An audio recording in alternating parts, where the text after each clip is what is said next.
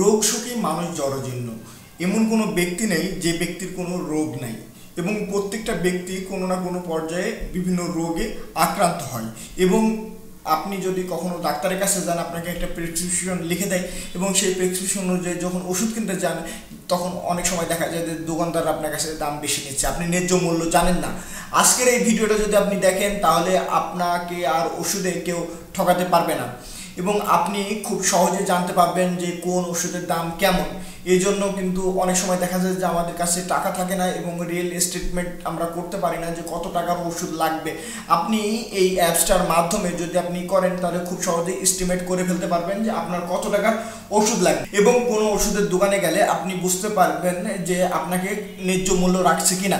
এই জন্য আজকের এই ভিডিওটি যদি আপনি সম্পূর্ণ দেখেন, তাহলে বুঝতে পারবেন যে কোন ওষুধের দাম কত এবং কীভাবে এটি আপনি জানবেন। এবং অনেক সময় দেখা যায় যে জরুরি প্রয়োজনে বিভিন্ন ধরনের অ্যাম্বুলেন্সের দরকার হয় এবং বিভিন্ন ধরনের রোগের লক্ষণ এবং সব কিছু জানার জন্য এই অ্যাপসটি অনেক গুরুত্বপূর্ণ। সব কিছু মানে মনে করেন কোন রোগে কি হয়, লক্ষণ, প্রতিষেধক, কীভাবে কি করবেন, সব। এর জন্য আপনাকে যেটা করতে হবে সেটা হলো আপনার প্লে স্টোরে যাবেন। প্লে স্টোরে গিয়ে লিখবেন পেশেন্ট এইট অলরেডি আমি এই সফটওয়্যারটি ইনস্টল করে ফেলেছি জাস্ট আমি ওপেনে ক্লিক দিলাম।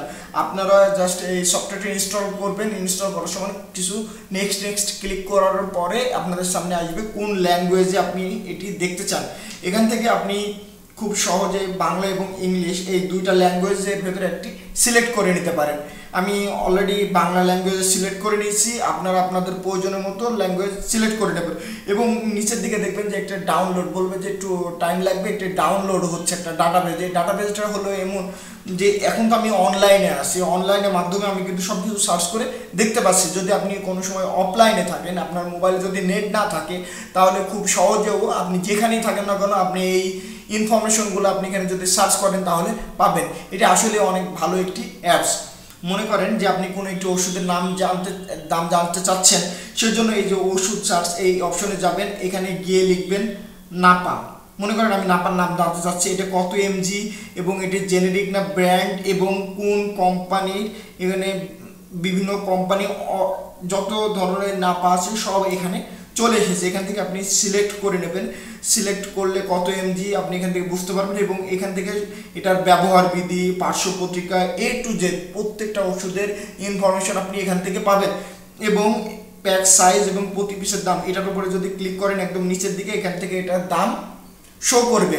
এভাবে আপনি প্রত্যেকটা ওষুধের দাম আপনি এখান থেকে জেনে নিতে পারবেন।